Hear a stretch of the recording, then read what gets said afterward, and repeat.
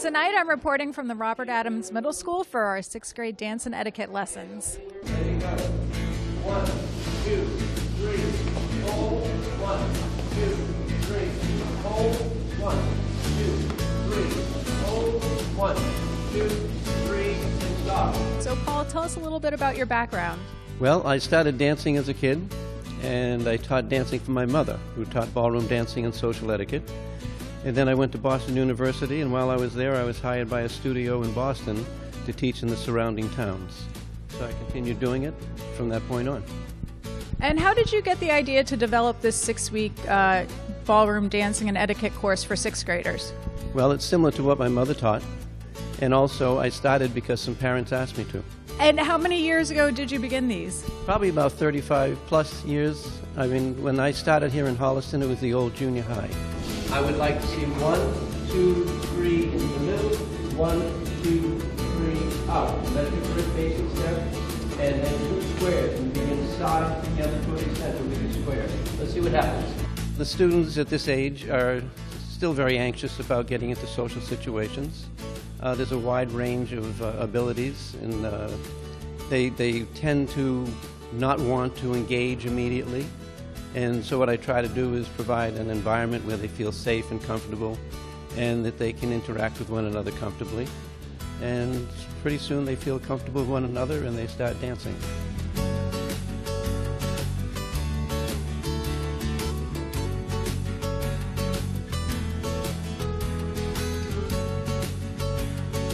Have you noticed any differences with the children through the years? I have. That I find that socially they're a little more, it's a little more difficult to get them to communicate. Uh, and an example would be that when I asked the kids to talk to one another while I was putting a CD on, and there was silence. So I started uh, talking to them about how to make small talk. And we worked at that. And pretty soon they felt very comfortable with it. Great handshake. oh, that is a good one. In addition to small talk, what other types of social etiquette are you teaching the children?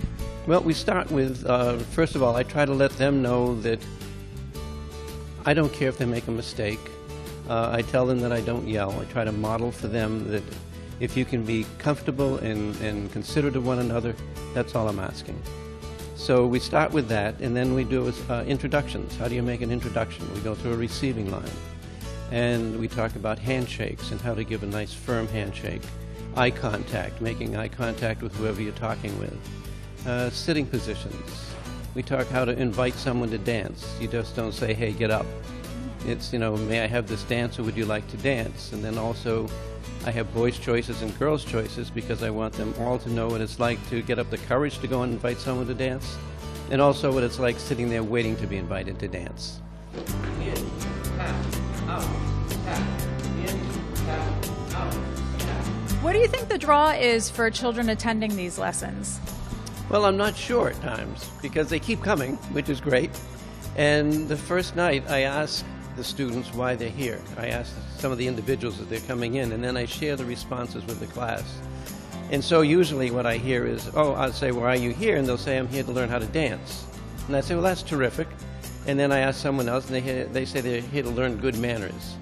And I said, well, I really think you already know good manners. I said, my job is to teach you when to use the right manners at the right time. And then I ask uh, someone else, and they say, I'm here because my parents made me come. Claire, why did you sign up for dance lessons? Because my mom made me. And are you liking it now that you're here? It's okay. Janie, what would you say has been your favorite part so far?